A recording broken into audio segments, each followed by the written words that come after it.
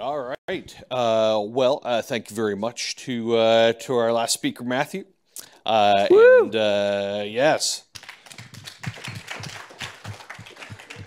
And uh, once the appropriate buttons are pressed, uh, we'll have uh, we'll have Jeff Lindsay talking to you. Um, and then uh, after that, I uh, I I trust we have our uh, panel folks here and squared away. All right. Raise your hand if you're on the panel. All right. Well, there's two Some, of them. some so- of them are getting coffee, and then there's a panelist who just touched down in Austin and is coming in. Oh, he's, oh, he's right there. Sweet. Nice. All right. Well, just uh, we'll uh, we'll uh, gather you all together afterwards. But uh, uh, until then, we give you into the able hands, Jeff Lindsay. Thank you. Can you guys hear me all right? I don't know if this is picking up my voice. I guess I need to be looking this way. Yeah, probably. Okay.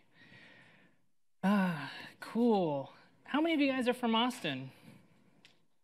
Yeah, Container Days, Austin. I'm from Austin. Well, I'm not from. I live in Austin.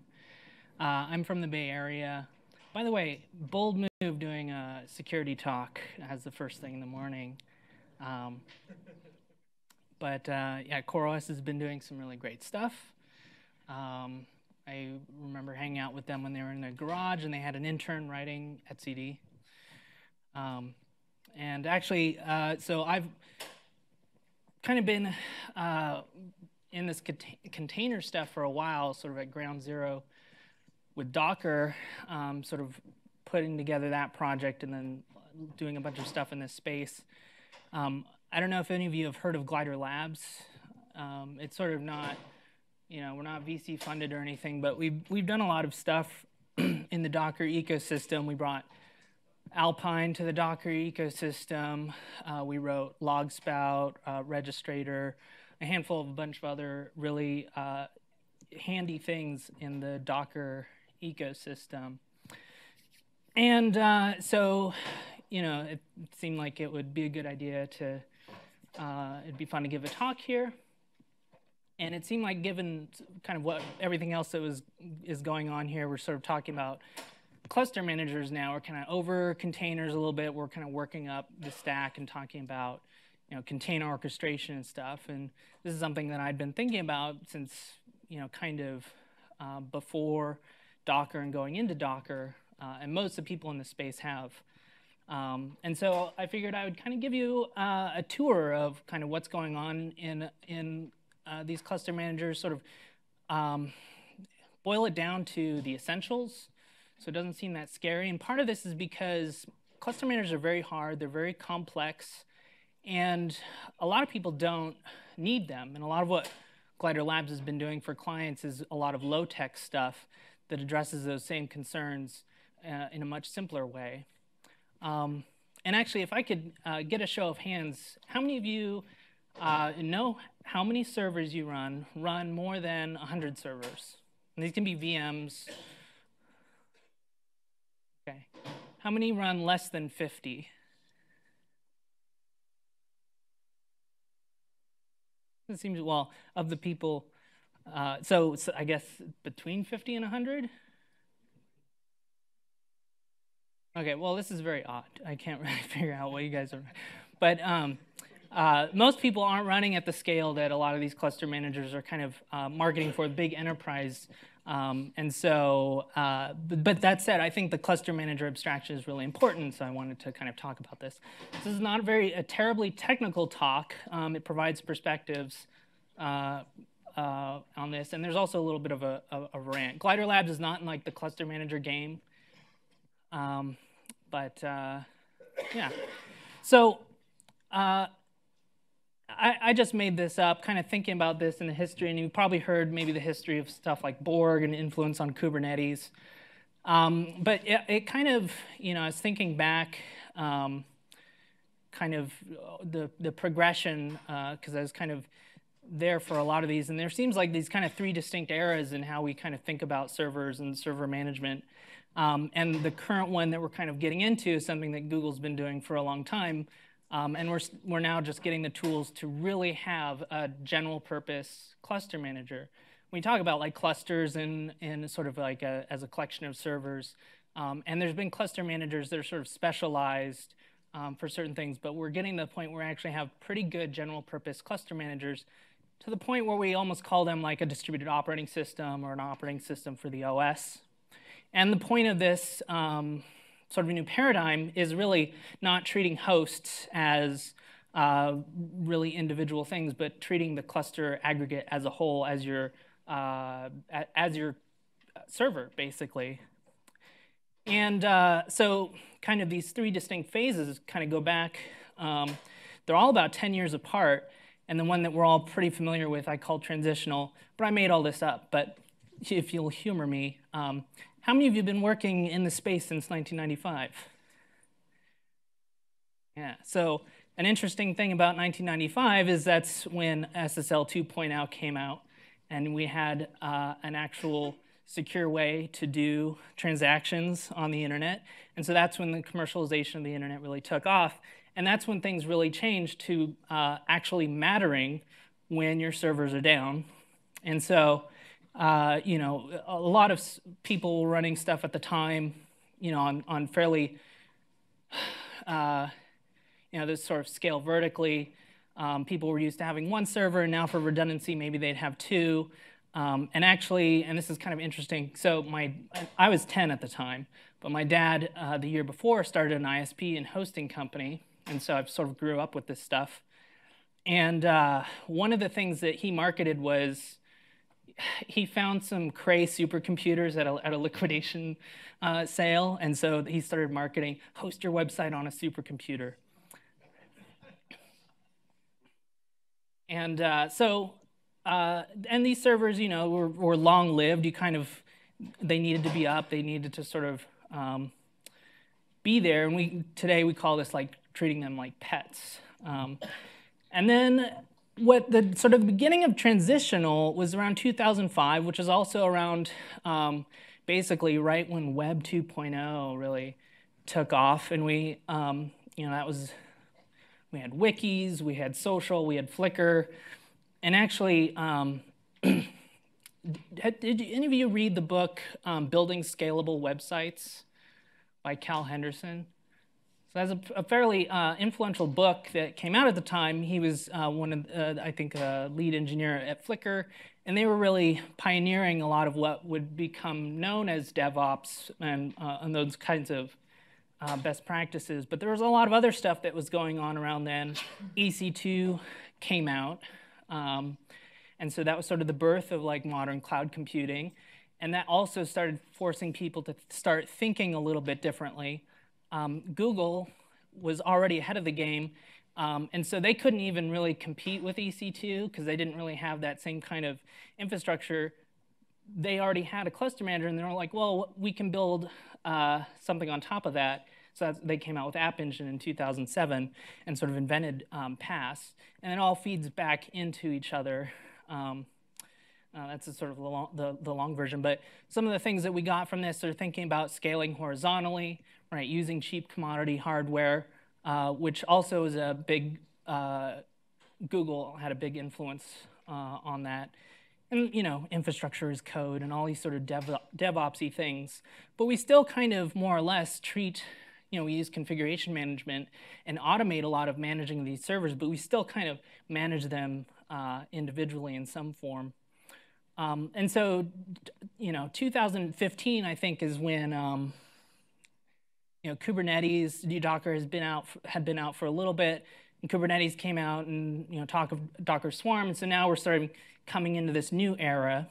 Um, and it's, I think totally different than than uh, the way we did things before, which is why I don't um, use any kind of configuration management. Um, so another way to look at these, if we were using that pet metaphor, maybe we have, and this is, I know a lot of people don't keep cows as pets, but uh, it's for the theme of the slide. So, you know, talking about pets, and then we started talking about cattle uh, you know, treating servers as cattle. You know, it's not so much that you you, you know you're you're going to want to like name them and and that they're so special. They're part of you know this group. Um, you know, and they kind of rotate out, and you're kind of more thinking about the collective. unfortunately, this metaphor doesn't really extend into this new area without getting a little bit um, depressing. but this is, you know, the closest I could come up with. But luckily, um, you know, this is not a problem with servers. Uh, you know, we don't really care about, uh, you know, uh, free range servers.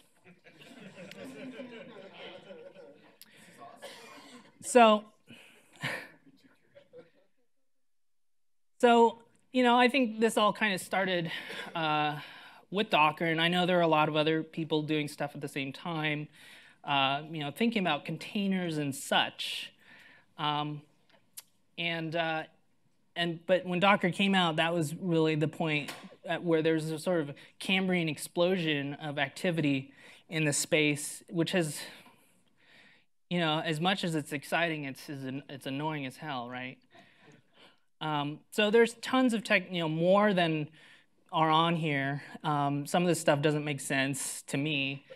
Um, and in fact, slides like this, which I didn't make, I stole, um, to me are actually kind of useless, other than proving the point that these slides are quite, kind of useless. Here's another one. And here's another one. And I don't know why people like making these slides. They're totally useless. Um, so, but you know, part of what uh, caused all these companies to, to come out was okay, we had Docker, but we, a lot of people were like, well, you know, it gave us a hint of like maybe thinking in terms of like a cluster manager and stuff, but it wasn't, right? It's just Docker engine. And so a lot of people were like, Docker is not enough, and there are a lot of ways that Docker is not enough. Um, some even felt so strongly they gave a talk titled Docker is not enough. Um, and the point is that it, you know, Docker, um, when when when I was involved, it wasn't really, uh, and and to Solomon too, you know, it was meant to be a building block, um, and it was part of my effort to disaggregate PaaS. Um, so platform services, I think, are quite amazing.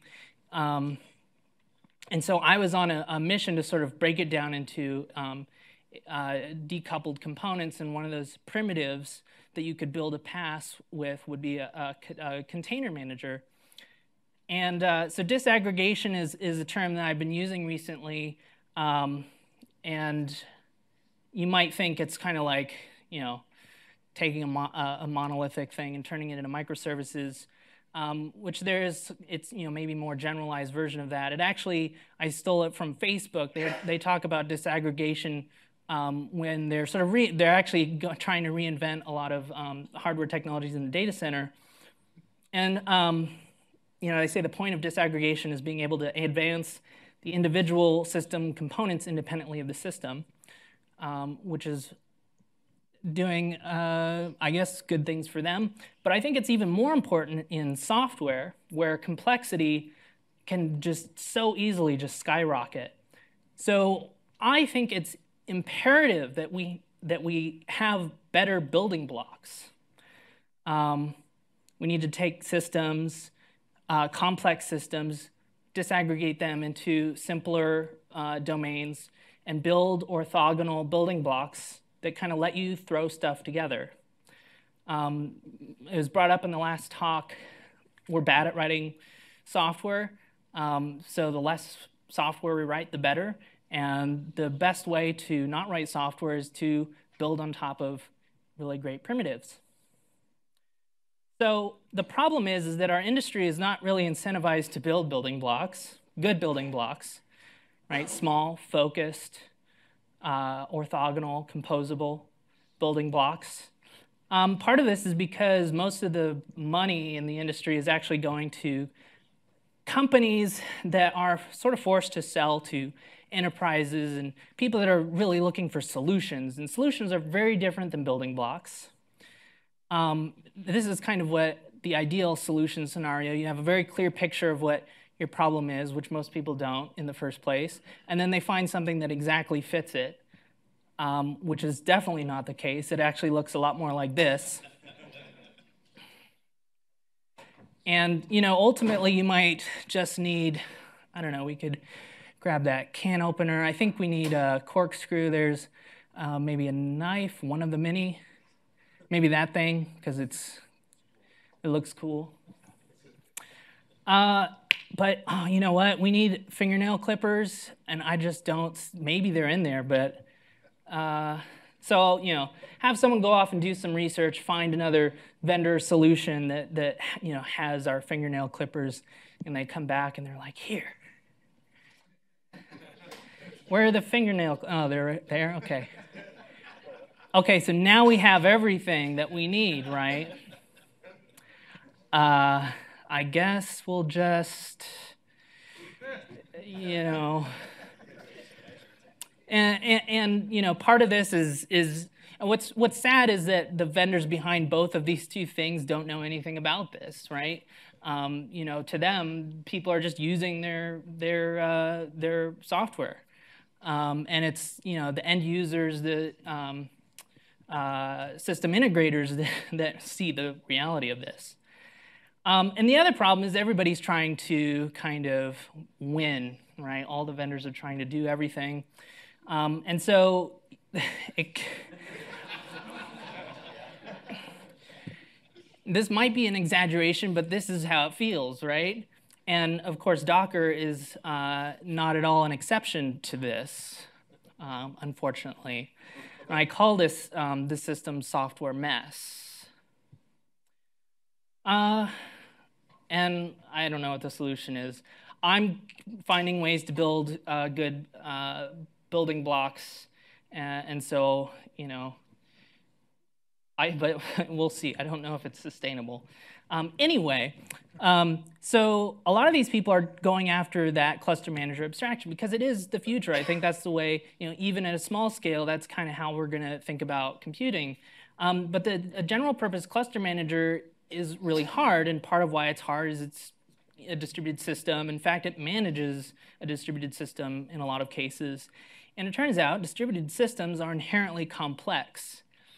And you know, we talk about writing bad software. To me, that's sort of like adding complication, or you know, you don't understand a domain well enough to boil it down to its essentials. Um, but then there is inherent complexity that you just can't really um, uh, get out of. And just to give you an example of um, you know, how much the distributed systems part uh, is in, in, complexity, here are two open source Heroku clones, open source projects. Um, uh, both I had something to do with, but uh, and th these numbers are not accurate anymore, but the proportion is, is correct. The difference between these is Dokku is for a single host, where Flynn is for you know full distributed system. And, and but they're both they can both run Heroku apps to give you the same workflow, same management. In fact, Dokku is a great example, um, and I made it by accident. I made it as a demo for a talk in uh, one of the first talks on Docker on what you can do with Docker. And it was originally 65 lines of bash. And that was possible by leveraging good primitives, good components like Docker, like um, Nginx, and a couple of other things that I had to make for this, but were general purpose. Um, and this is really powerful, and we, you know, we can't just we can't throw stuff together. Unfortunately, it's just too complicated. Um, but that's the world I want to live in, where you can throw this stuff together. So um, disaggregating uh, PaaS, you know, led to all this container stuff. And now it turns out that uh, a lot of what I've been doing is kind of disaggregating cluster managers because it turns out, and this, if you, do you guys remember this? This was from Container Days, uh, was that last year or the year before? Um, uh, a friend of mine, Gabriel Monroy, gave this talk. Yeah, yeah. And, uh, you know, he's coming, trying to come up with a way to kind of categorize everything that's going on in this space. Um, almost like the slides in the beginning, but a little bit more technical. And you know it's technical because it has layers. Um,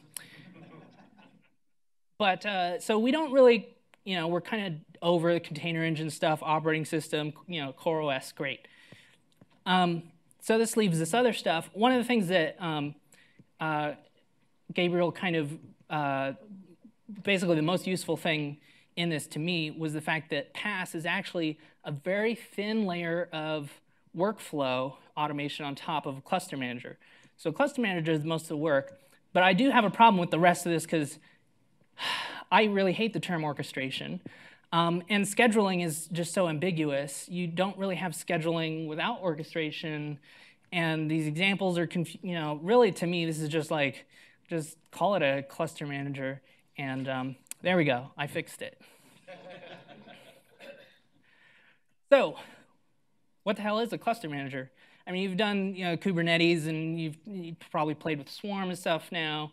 Um, but what I want to explain are basically the primitives that you would want in order to throw together a cluster manager. And this is really just to give you a sense of the domain, what's specific to cluster managers, um, and maybe also uh, show you that they're not that scary.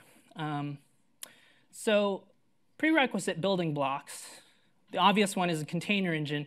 And this is actually really important because what Docker does is, um, and this was touched on in Matthew's talk a little, but it gives us it gives us like a, a unit of software and it turns a host into host for those units of software with an API, right? If you think about like what what is software, um, but you know if you if you look at, at a Linux system, like how do you can you point your finger at like a piece of software?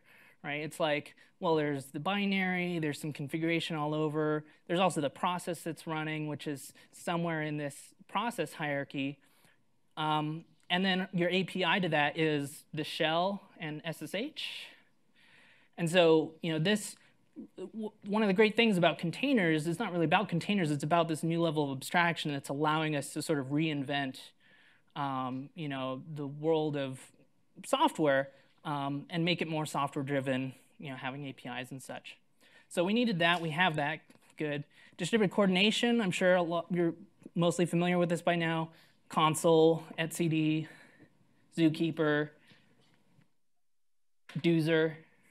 Um, so these are just kind of great to have handy, sort of Swiss Army knife, uh, the good kind um, that you can use for distributed uh, systems because it, it's just so handy to have uh, distributed locks and kind of key value stuff, and it's just really powerful primitive. So we have those two. Now what? So the whole thing that we're trying to do is we're trying to take a bunch of hosts and we want to aggregate them into effectively a single unit, right, the cluster. So the first step is we need to know what hosts we have. And so I'll call this like inventory your hosts. So this is centralizing all the information about the hosts. Um, and you know what this covers, uh, you know, it could be what, what the hardware specs are, uh, what operating system it's running, metadata, what network it's on, um, but also dynamic data like resource utilization, um, and ideally any other metadata that you want to put on these things.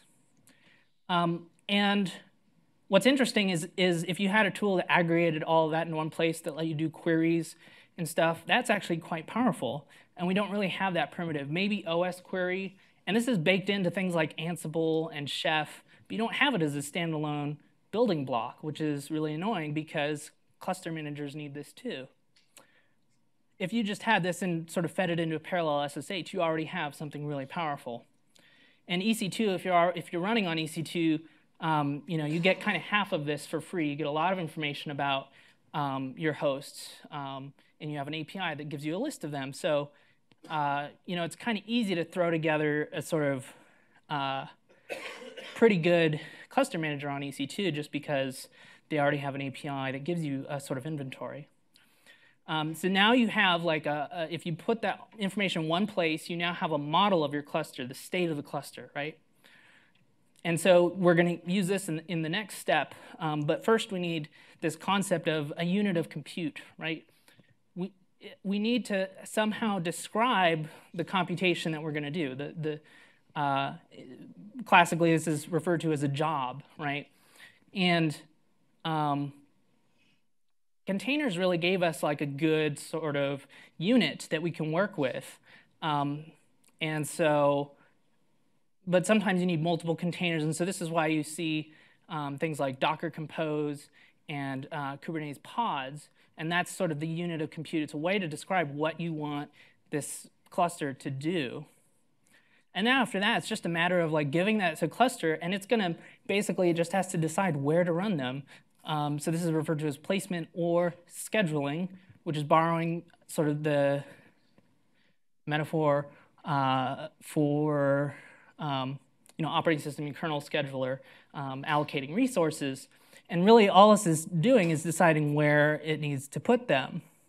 And that's really the heart of what a, a, a, cluster manager is doing. Everything else is kind of extra, or at least I would argue is, is extra in the sense that um, they, they can just be kind of extra um, orthogonal concerns. Um, so that's it. No, um, you know, this doesn't cover like job recovery, what happens when they fail, how do they communicate, like lots of good problems, right? Though what I just described is more or less what Docker Swarm was originally. and, uh, you know, they made a, a, a number of uh, mistakes with this, um, one of which was assuming that the API for jobs is the same as containers, and it doesn't because, to me, there's fundamentally uh, two job types that you can run on a cluster. Um, the one that we think about most often are services or long-running processes like your app servers, but also commands, or I call them commands, or batch processes. And these are things that basically start and stop. They don't run indefinitely. And these are just as important as services. Um, and pretty much every paper you read on scheduling is going to talk about these two things because they do have implications in terms of your scheduling algorithms, but they, have all, they also have huge implications in terms of the API and the user experience um, as well as extra services that you need in your cluster manager. For example, services uh, need supervision, right? You can't just say restart the service. If the whole if the host goes down, uh, you need it to start up uh, another one of those services on another host. So something else needs to be supervising uh, services from different machines. Um, logs, also uh, replication services very often, you know, scaling horizontally you want to run X number of them. Um, whereas a command has none of those concerns. And also, it might have different concerns, right? You might want to, it might be interactive. You might want to uh, attach to it and interact with it. You might need a pseudo terminal, right? So these are very important things to have in your cluster manager model. And this is something Swarm didn't, it kind of had implicitly in the original Swarm. The new Swarm mode doesn't support commands. Uh, it's quite ridiculous. And Kubernetes, for a while, didn't have um, commands. I don't know the state of that now. But to talk about service supervision, and this is kind of where some of the, you know, people talk about scheduling, but this is kind of where uh, I think a lot of the magic is, and it's not even that complicated. um, in Kubernetes, this is, they'd call it the uh, replica controller. That's kind of the role of, of that component. Um, and its job is mostly about uh, rescheduling, uh, effectively re restarting a process somewhere else in the cluster, um, and ensuring there's X replicas running. And so people talk about ideal state, right? You need, uh, you want to define the state that you want your cluster to be in, and the system will work to keep it in that state. Um, which, by the way, is a very old concept. It's how configuration management systems work. Um, it's also how your thermostat works. Um, state-seeking systems, cybernetics, it's pretty old. It's also very simple. It's based on feedback loops. And autoscale groups work the same way. In fact, if you were to generalize autoscale groups on EC2 to be able to kind of work on services, you could use that for service supervision. Um, and one of the reasons why I don't list this in sort of like the heart of a cluster manager is because you could run this on top of a cluster manager you could run a service supervision service. You could run two of them. They monitor each other so that if one of them goes down, they're always running. And given you ha have a, a, coordination primitive, they can decide who is sort of the master and in charge of watching all the other processes. Um, and then it's sort of like, you know, it's not necessarily part of the cluster manager. Kubernetes comes close to this model. Um, but for example, Swarm just bakes this into the manager, which is really annoying because again, this is a really great general purpose primitive. It's what auto scale groups is. You could use this for all kinds of great stuff. We don't have a general purpose primitive for this. And there's basically a whole list of other orthogonal concerns that you definitely have when you're dealing with cluster manager and you want a solution, right? But all of these, I argue, are quite orthogonal. I've spent a lot of time uh, in the Docker world with service discovery and figuring out how to do that um, very sort of magically, automatically. And uh, the opinionated ways that Kubernetes and other cluster managers have decided to do it kind of blows all that work away. Um, health checks, all this stuff kind of feeds into each other. Um, but uh, if we look at, and this is, I think this is from the new stack, and I don't remember how long ago, but um, uh, these are kind of what most people are using, and you'll notice that it adds up to more than 100. This was pointed out to me the other day. And it's because people do end up using more than one of these. I almost had a slide that was talking about running Kubernetes on top of Mesos, which is just ridiculous. Um, and I can understand that there is a situation where it makes sense that you had to duct tape them together, um, but the amount of complexity that you're, you're, you're introducing, and they're sort of both achieving the same thing but that's the world that we live in. Um, so anyway, you should be able to throw together a cluster manager. If I had more time, I would love to uh, kind of talk about some of the low-tech things that we did with clients. Um, and uh, uh, but you know, otherwise, you know, hopefully this is just at, at the very least inspiring. Um, and this is, and like I said, Glider Labs is not in sort of the cluster manager game.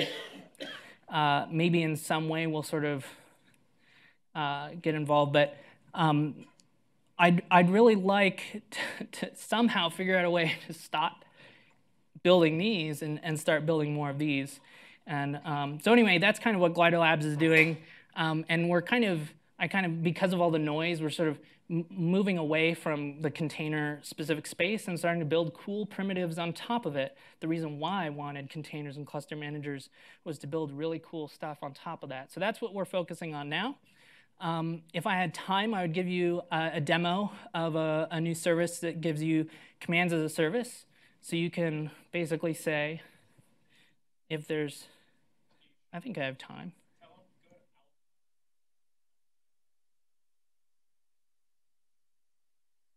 Um, well, maybe I, I, I don't have uh, internet. Um, well, you know what? Tell you what. We'll, we'll do an open spaces talk on Command IO and we'll give you the full demo. Um, but just to sort of uh, describe what it does, um, it's an oddly it's an SSH service. You SSH, it looks like this.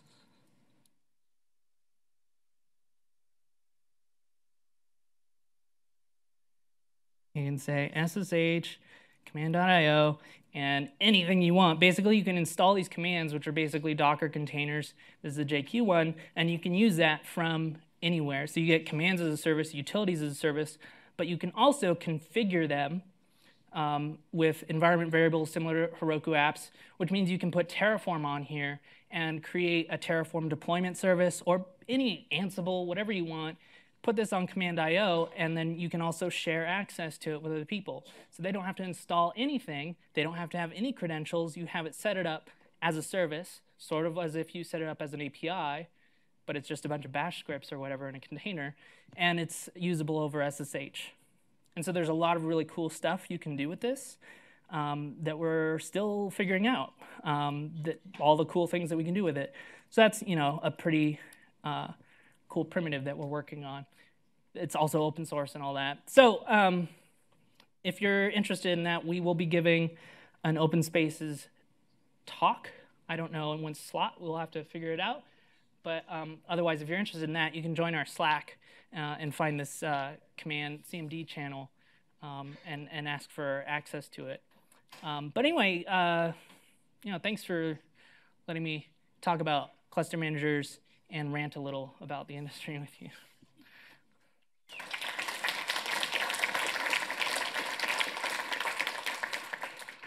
Do we get um, questions or is there time? Doesn't have to be about anything I talked about. You can ask me about anything.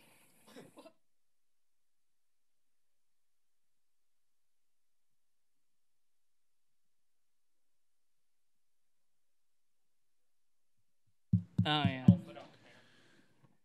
So you mentioned about composing and the Lego ideas and solutions, but I thought from what I've heard from Kubernetes community is that that's what they're trying to do with the API server and the primitives that they're building and being a pluggable uh, architecture, which I think has departed very much from how like Swarm has approached. So maybe comments on that. Um, Kubernetes is like the is the closest. Um, it's actually really frustrating to me when people make like the like the almost perfect thing. It's like everything I want, but.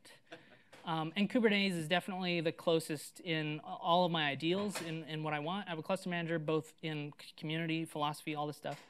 Um, they're missing a, a, couple of things. One, there's a, there's a certain amount of opinionated stuff that they put into it that's kind of annoying. Um, I don't want half the stuff that they put into it and make you use. Um, but it is, you know, pluggable and stuff like that, which is uh, really great. But it's also just very complex and trying to solve a lot of problems for a lot of people, most of which are are not the common case. Um, sort of people with like relatively small clusters. Um, so a lot of the time, it's not worth um, actually running. It's definitely it's a huge uh, improvement over Mesos, um, which I won't even like get near and uh, it's definitely sort of more thought out and fully fun functional than um, uh, than Swarm. And actually, I didn't mention this, but ECS I actually really like. It's a bummer that it's software as a service, but on EC2, it's actually it, to me is almost the ideal because it does the bare minimum uh, of what I want from a, a cluster manager. Um, so I, I, like Kubernetes, and it may become the standard thing. But and you'll notice it's, it has a lot of activity. Like it's one of the most popular projects right now in terms of like contributions and all this. The problem with that is that like most of that is adding complexity, adding features, you know, fixing things for sure.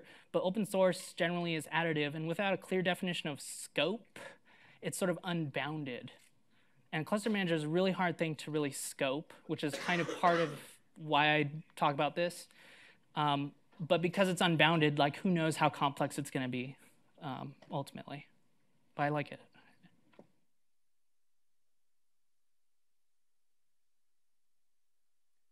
You, you kind of mentioned this briefly when you mentioned uh, using Mesos to do Kubernetes, uh, but that seems to be pretty popular right now. Is you know any one of those three Swarm, Kubernetes, Mesos, orchestrating one one another, and then also in the OpenStack, there's running uh, Kubernetes with OpenStack using Magnum, or there's even worse, running OpenStack on Kubernetes.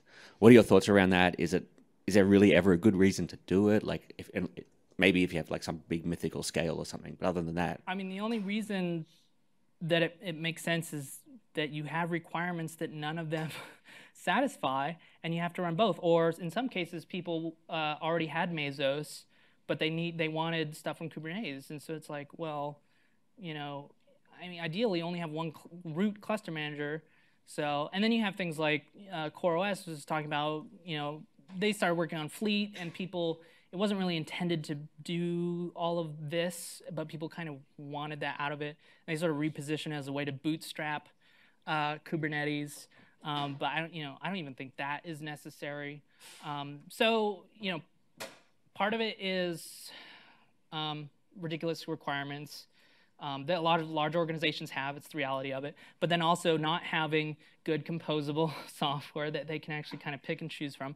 But then also not taking the time, both both on the the integrator side, but um, you know it's more the responsibility of the vendors that should be taking the time to really understand how to simplify things um, into composable orthogonal things. Um, and the fact that people have to run Mesos and Kubernetes suggests that maybe Kubernetes is not, you know, the ultimate thing that it's you know some people think it is. Yeah. We'll do one last question, and then because uh, we have to move on with stuff as well. So. So I know I, I asked you this earlier at uh, when you gave this talk at Docker Austin, but, and I found the answer really interesting. Would you mind sharing uh, your answer about the business model behind Glider Labs with a wider audience, or is? Um, we'll do that in the open space Sounds good. talk. Yeah, because yeah, it's a long conversation. Yeah, it's interesting. You should check it out. Cool. All right. Thank you very much.